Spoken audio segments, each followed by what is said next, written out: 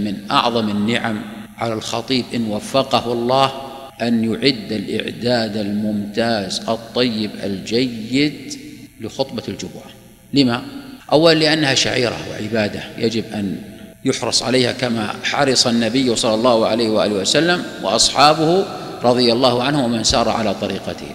ثانيا أنه هو الوقت الوحيد الذي يأتي المسلم إليك طواعية. وقد فرغ قلبه وذهنه ونفسه من جميع الأشغال.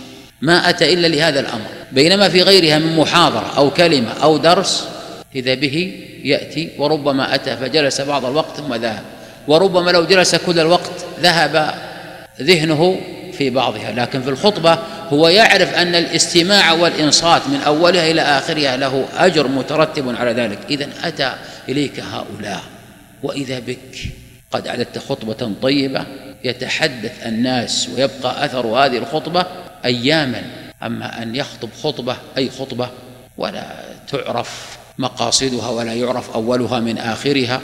وإذا بآخر أمر الناس أنهم إذا خرجوا إذا بهم وبأذهانهم يشتغلون في البيع والشراء وفي القيل والقال.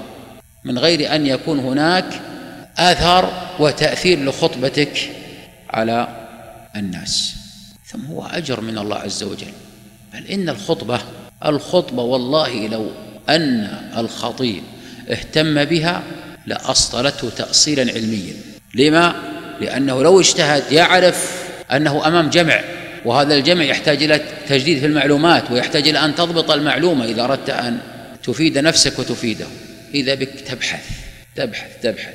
ثم هي سجية يعني لما يصل الإنسان إلى مرحلة ما. إذا بالخطبة تصبح عليه من أسهل ما يكون